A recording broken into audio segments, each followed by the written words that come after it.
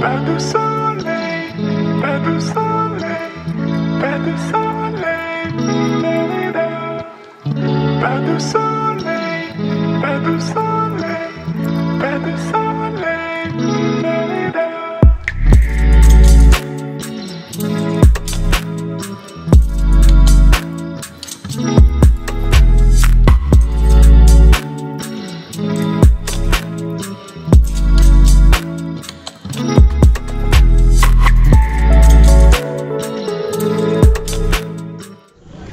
So we're in the Valencia Sunday market. It has clothes, it has food, and uh, it was a little tiny thing when we first got here back in, uh, I guess it was February maybe of 2020, right before the pandemic started.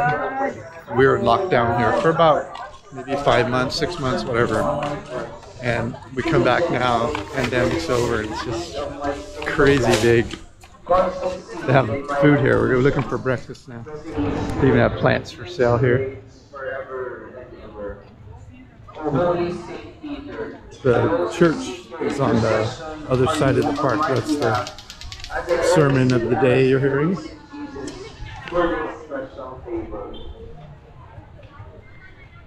Look at this place. Wow, amazing. It's easily 10x uh, the other Sunday markets we've been to around the Philippines. Man, this, depending on prices, this is probably the place you want to go. Selection and pricing. I mean, uh, quality and selection to get your groceries every every week. And this is the restaurant or snack area, I guess. It's all food now suddenly on one side of the park. There's Lechon. Qiang really likes pig.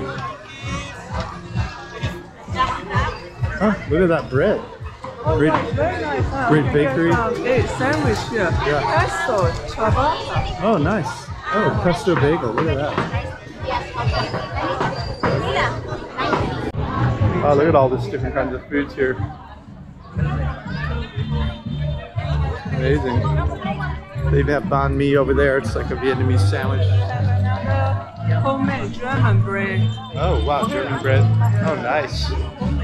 Very cool.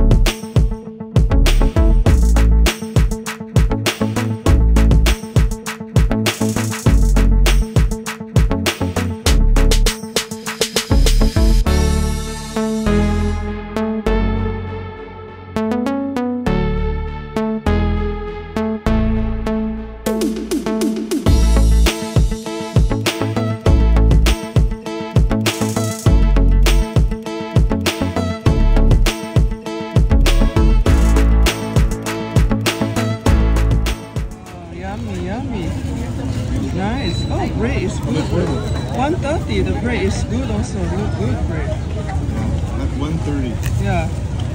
like two dollars, two dollars and ten cents or something. How's your pulled pork sandwich? Very good. Very good. Good. The Yeah. bread is so good. Good bread. Looks like it has cheese and ketchup and uh, mayonnaise, maybe. Pizza. Wow, that's mostly just pork, huh? A couple pickles. Put hair on your chest. In case you're wondering, the see that green gazebo over there, that the tall one. It's it's across the little round area over there. It says smoked pulled pork. Big white sign. Here we are, people, on a Sunday, enjoying our. We're up on the steps here, the view, enjoying the, watching the Filipino people go about life.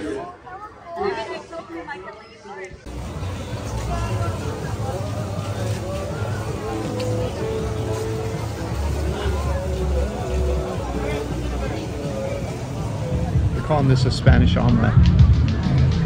It's a potato, egg, and onion, and some garlic. We'll see.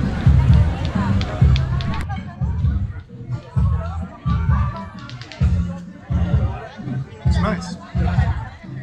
In uh, in the U.S. where I'm from, the Spanish omelet is like a, it's a regular omelet with you know tomato sauce with like bell peppers and onion and garlic and and uh, chili peppers and spicy.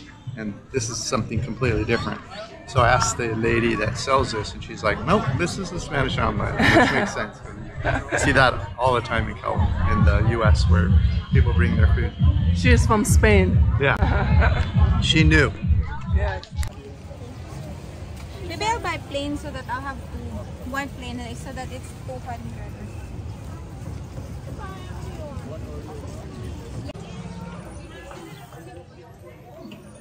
It's good?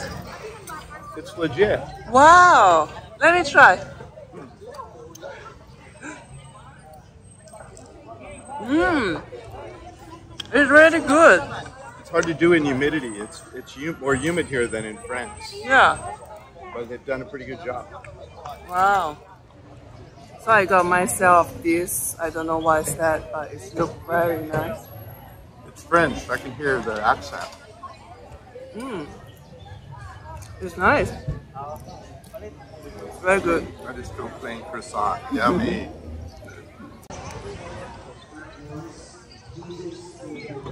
wow, the whole thing has chocolate inside. Yeah, Oreo. I thought it was just on the top. It's It's nice. good. I like it. Yeah. It's not too sweet, even though it looks really sweet. The flavor is more chocolate than it is. I went back and get three more croissant. Ha ha. Aha! Ha Khao soi? Yeah, 150 is uh, cooked. Oh, you see, I cooked by this. Kuklux, Northern Thai. Yeah. And she doesn't have a restaurant. She just is here on Sundays, right? She she cook in the house. You can order and then uh, they delivery or they send like Grab or something. Oh, cool. Well, let's see.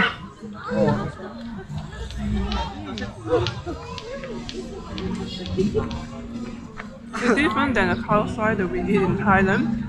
But it's, close to Thai. It's, the taste is almost the same. It is, you can have a taste of Thai food, but it's different than what we eat in Thailand, the khao soi. The pad thai over there. We'll have to try that too sometime.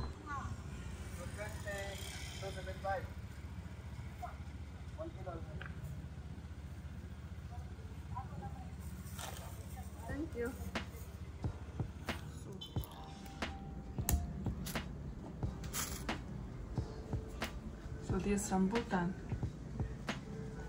I like to remove the skin so it's easier when I want to eat instead that you know every time I have to take.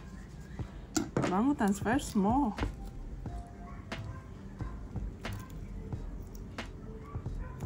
Rambutan is 70 peso per kilo and this long one is 150 peso per kilo. What's the this one called what? Uh, longan, I can't remember the name, sorry. And this is Ramblin? Rambutan. Rambutan. Yeah, rambutan. Orangutan, rambutan. Sounds like a ring orangutan. Yeah, some of orangutan. The skin color is same like that. this 150 peso, and then I see in the Valencia they're selling 250 peso. We bought it on the roadside. Oh, the roadside was 150. Yes. And the Valencia market was 250. 250. And how about the Rambutan is about 80 this peso. one's 80? Yeah, but I bought 70 peso. At the roadside. Yeah. Right. Hey, good looking. If you are curious about our cozy accommodation in Dumaguete, just click on the video above. We are excited to show you where we're staying. Thanks a lot for watching and we can't wait to catch you in our next video. See you soon. Bye.